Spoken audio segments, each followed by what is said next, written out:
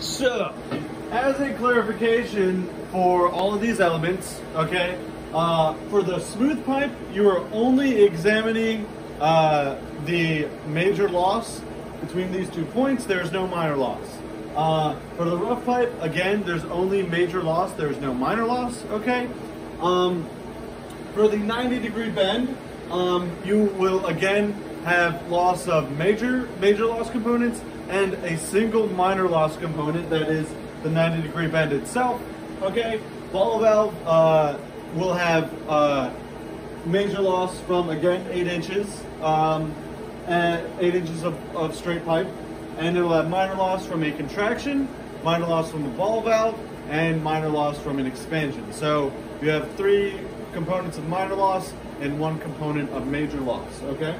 For the globe valve, it's a little bit simpler than the ball ball valve. You have uh, one component of major loss and one component of minor loss. Okay. The 180 degree bend is a little bit complicated, uh, but it's really just two 90 degree bends. Okay, uh, with um, four inches of straight pipe here, uh, four inches of straight pipe down here, uh, and uh, about seven inches of, of pipe here. So I think the lab manual says uh, 18 inches or, or so there. Um, so double check whatever the lab manual says and use that value.